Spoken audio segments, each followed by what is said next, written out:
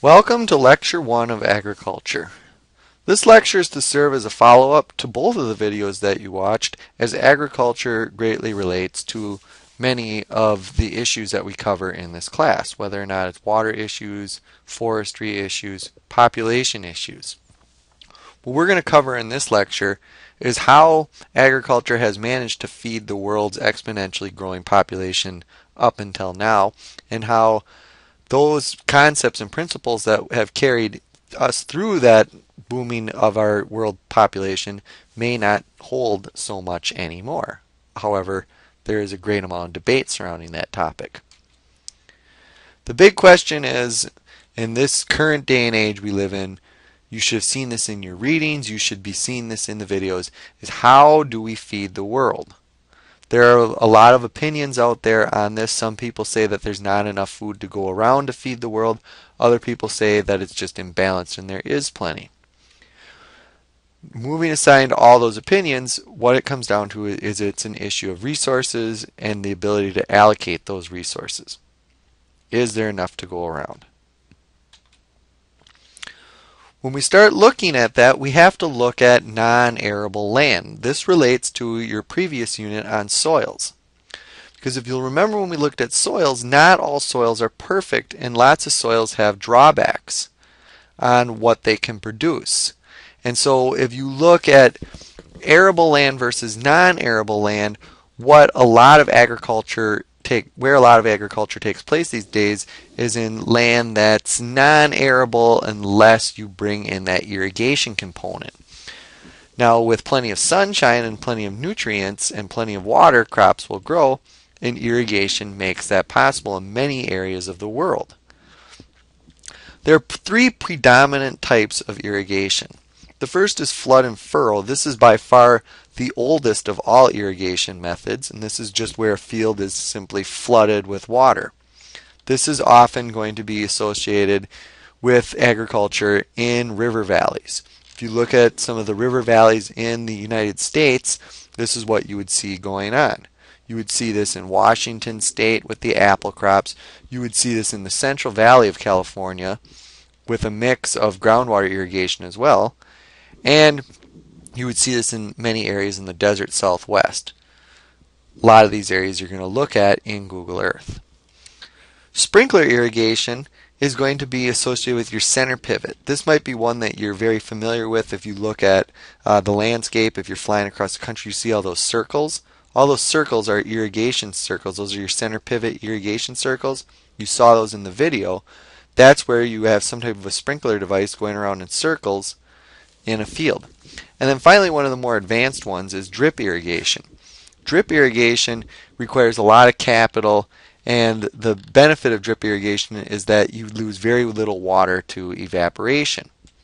So if you look at these three, you might say that, well, drip in terms of conservation standpoints is much better than the other ones. And who would ever want to engage in those other ones? The problem is, is that you have to look at this in terms of pros and cons for each because while flood and furrow irrigation isn't exactly good for water conservation, many of the current laws that we have in the western United States, which we'll visit in the water unit, really don't promote the use of drip irrigation. Also, if you look at drip irrigation, you have to remember that drip irrigation oftentimes doesn't allow the individual to plow the soil. And if you can't plow the soil, going back into what we were talking about with the no-till agriculture, that means that you're going to have to apply a lot more herbicides and pesticides to that crop. So it's really not any it's not really not good to say that any one is better than the other. You might say that drip irrigation is the best for water conservation, but in terms of economic reasons, flood irrigation by far would exceed that. Unless the water is comes at a fairly high price, then you might want drip. Sprinkler irrigation makes sense if you have some type of a center pivot irrigation system where you're relying on groundwater. We take a look at these irrigation patterns and whether or not surface water or groundwater and we can kind of get an idea of what we're going to be working with sometimes. We look at this area of the country, this swath here, there's really no large rivers in this area for surface irrigation to take place. This is going to be predominantly groundwater irrigation. Later on we'll visit this area because this is where what's something called the Ogallala Aquifer is located. We look over in Florida, there's not really a lot of rivers in Florida. A lot of this in Florida is is uh, center point irrigation as well, groundwater based. Over here, some water from the Rio Grande, however, you have quite a bit of groundwater as well.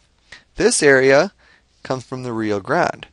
This area, quite a bit of groundwater, although you have some diversions from some of the rivers in the area. This is your potato growing area.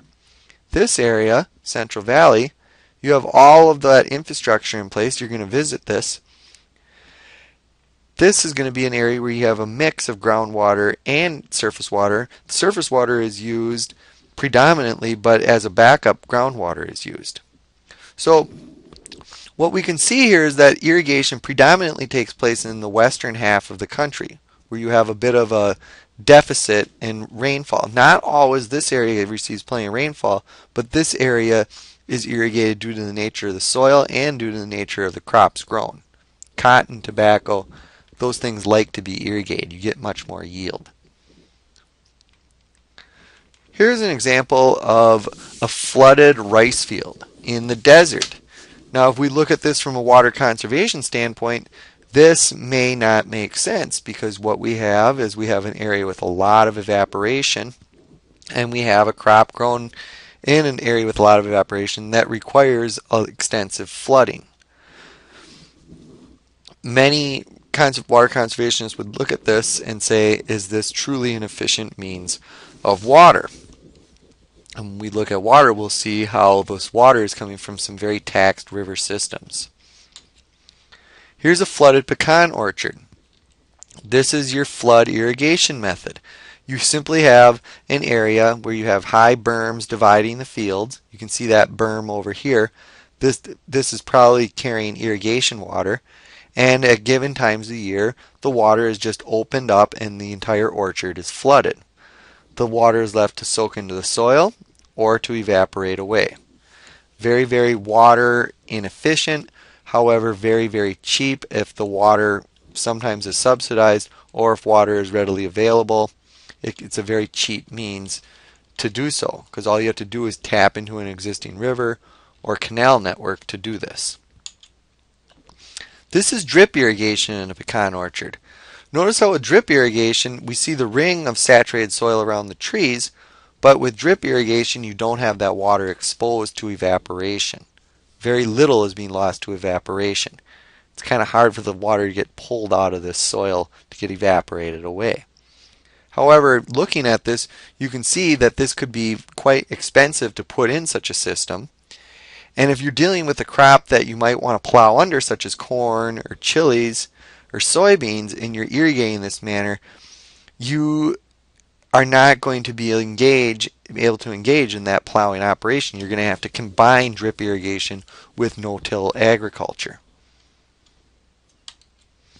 Here we have center pivot irrigation. So with center pivot irrigation, you have your your pump your centrifuge pump at the center of the operation. This pump is bringing up water from sometimes several thousand feet below the surface, and this big arm of sprinklers moves around in a circle to give you an irrigated circle of land. Each one of these circles represents a well dipping beneath the surface, pulling up water from, in this case, looking at this image, it's probably a couple thousand feet below the surface. Lots the the drawback to this is that this is pretty capital intensive to put in this well. The wells have to get deeper and deeper, and to bring that water up, you have to put in a lot of fuel because those centrifuge pumps run on diesel fuel. When you do your Google Earth assignment and you describe the landscape patterns in that assignment and you look at imagery such as this, think of the irrigation types and think of the the, the drawbacks and benefits to each of those. Think of the regions of the world that you're in and think of the overall geography as you complete the Google Earth assignment. The Google Earth assignment is very much intended to enhance what you're getting out of this lecture. When we talk about agriculture, we talked about this a little bit in the unit on population, but we have to bring in what's known as the Green Revolution. The Green Revolution is simply a, a, a byproduct of the Cold War of the latter half of the 20th century. It's a period when agricultural yields went they went up dramatically in the same amount of cropland that was used before.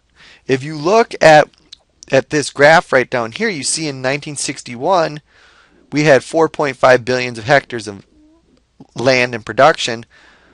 By 2001, we're not much higher than that. And a lot of the land that went into production is submarginal lands.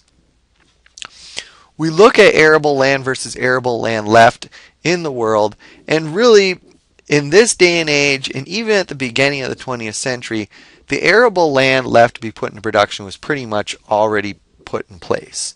The arable land that was put into production in the 1960s, much of that was arid lands that got put in production through large water delivery networks. Marginal lands are the only ones left that really are getting put into agricultural production. From the video that you watched, the home project, you saw that much of the land going to agricultural production these days is former tropical forest or your equatorial forest lands in places like the Amazon rain basin and the Belgian Congo of Africa. How does this graph relate to population? Well, this is linear growth.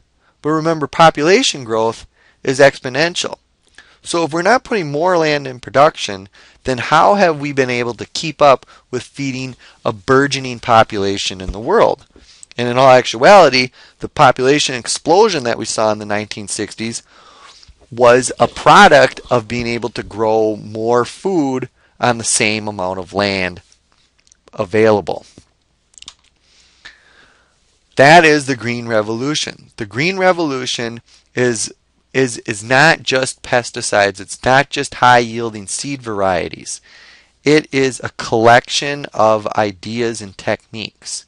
And really what the green revolution is is modern western type farming techniques that are developed that are that are developed in developed countries and brought to developing countries. Whether or not that's grain exports or the actual technology itself. However, what we'll see is that sometimes bringing that technology to a developing country isn't as easy as it seems on the surface. Here you have an example of a high yielding variety of rice. So if you look at traditional rice, you would see that it's fairly large, it's tall, and you don't really have that much rice on it. This isn't improved, so this could be through selection of the best rice grains to get the better seed. You could have something like this. But ideally, what you want is you want a high amount of yield in as small an area as possible so you can grow these rice plants very close to one another. And really that's what the green revolution is about is it's about squeezing in as much yield as possible into as small an area as possible. you look at this green revolution in relation to what production was before and what happened in the 1960s with the green revolution and you can see how much yield went up. Now this change in yield, you look at this and you can see it's kind of happening after World War II. What's happening here is that yes, the green revolution is a collection of ideas and policies and techniques, but in order for us to get the high yields, we needed to have some type of an external input. So if we look at this from the perspective of our country, of what we're looking at here, following World War II, we had a lot of explosives left over from the war. We had lots of ammonium nitrate. We had all these factories set up in the Gulf of Mexico to build explosive munitions. So we have all this ammonium nitrate left over. Nobody really knows what to do with the ammonium nitrate. And what was decided is we'll take that ammonium nitrate and apply it to fields. Research has been going on that since world following World War One. We'll visit that later on. And so let's take that infrastructure, let's take that ammonium nitrate and apply it to the fields because before we were really limited in corn production by rotating that corn out of production so many years to bring the nitrogen back in the soil. Now what we can do with ammonium nitrate is we can put that in ex externally and lo and behold we have the facilities now to make the fertilizer and from there the yields went up. Now we'll visit later on how policy relates to not yield but the amount of production. So yields went up in this country because of the introduction of chemical-based fertilizer. However, what we'll see is in the 1970s is really when production started to go up and corn prices started to fall because more and more people were producing corn.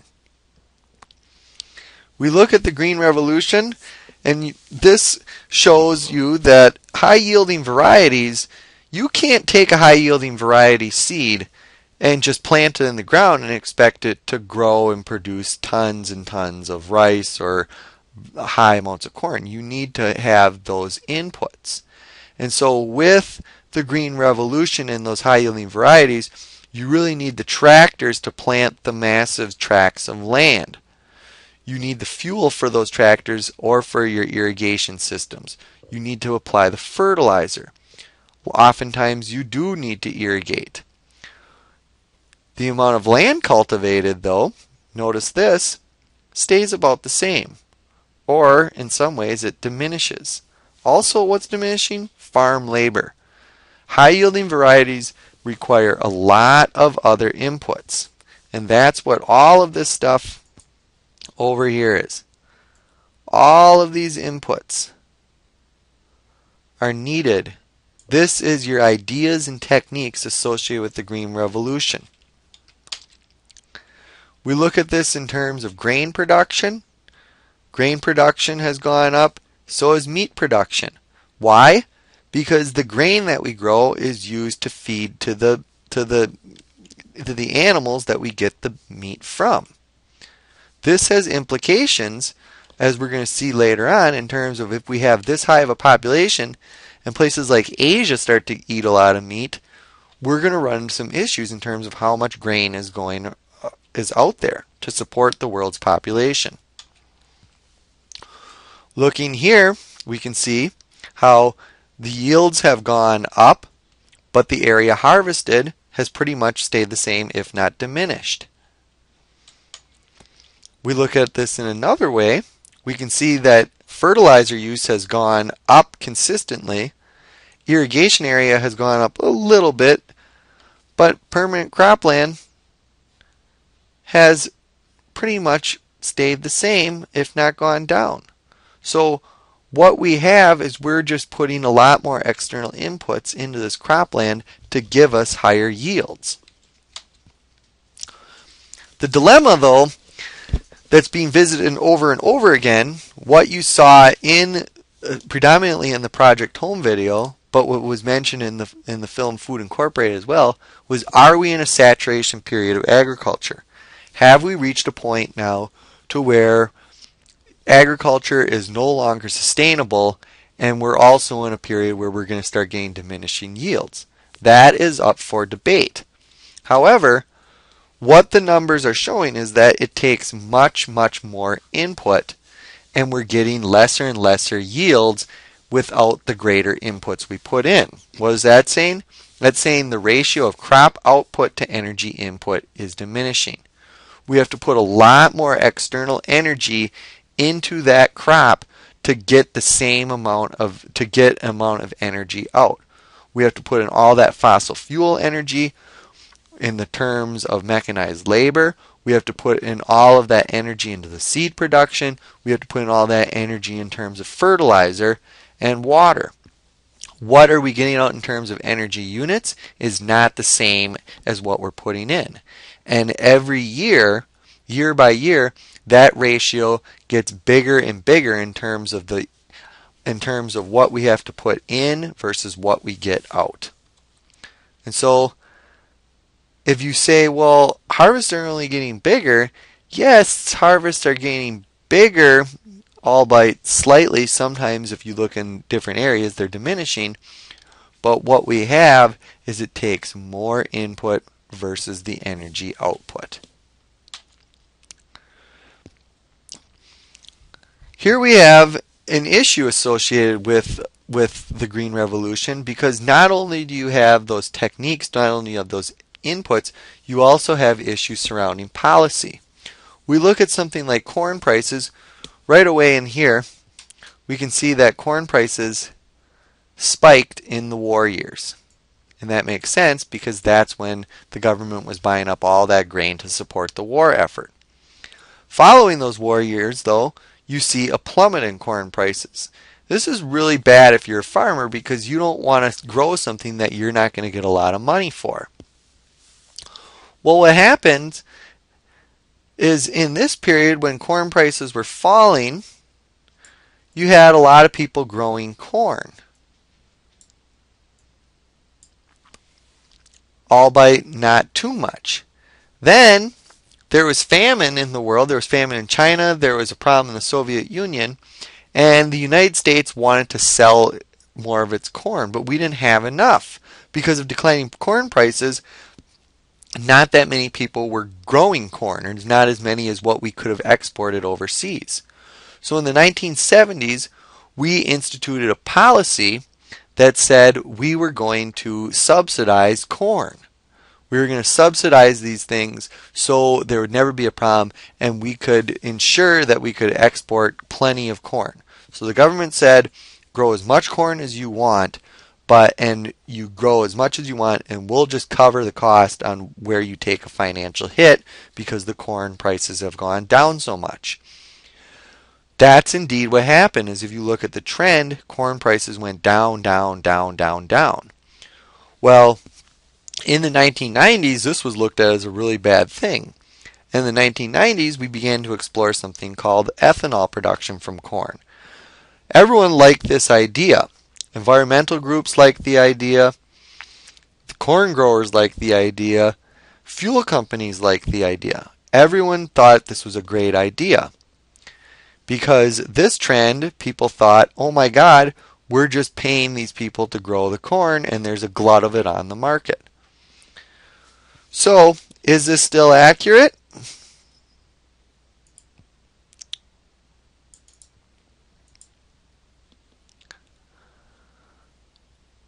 Well, I want you to click on this link to tell me so. Because if you click on this link, what you're going to end up getting is you're going to look and see that corn prices have gone up. Why? The ethanol. This is an unforeseen trend in declining corn prices. So, ethanol has really changed the way corn prices have been looked at. However, is this a good thing or is this a bad thing?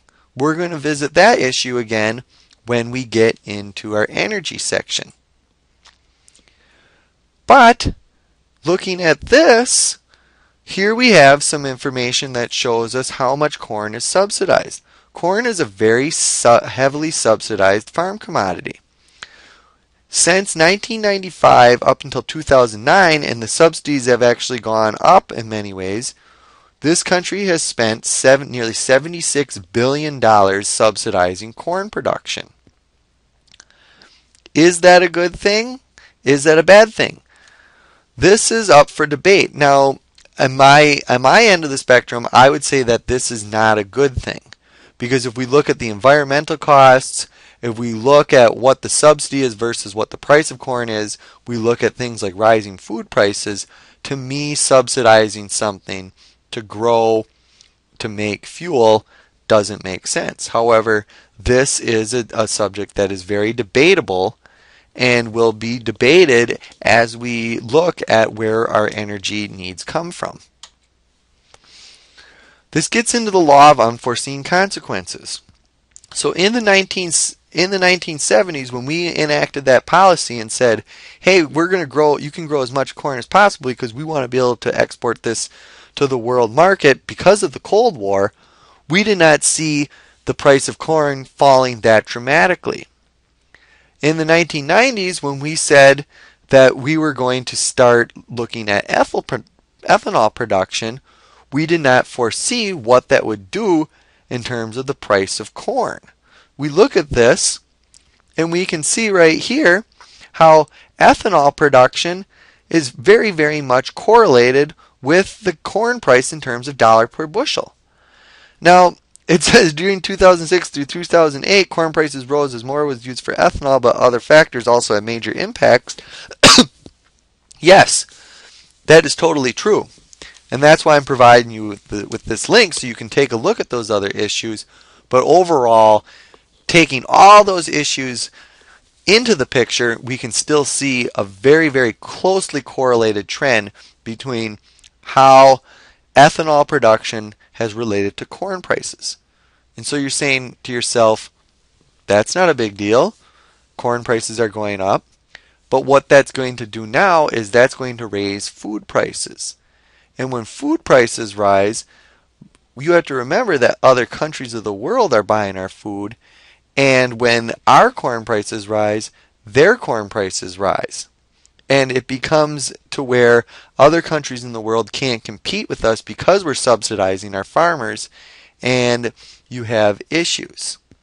We live in a global economy. And that's a very important concept to understand when you look at conservation issues is that it's not just the United States. Rising corn prices in the United States means that you can have food riots in other countries of the world as we saw in places like Mexico. Here we have primary uses of US corn. Well, we can see that corn still predominantly the number one use for corn is livestock feed. But we see this ethanol, ethanol use is getting up there to where it's matching how much feed we're feeding animals. So if we have that much ethanol going into if that we have that much corn going into ethanol production and then we look at livestock feed, what do you think that's going to do to the price of meats and foods in general?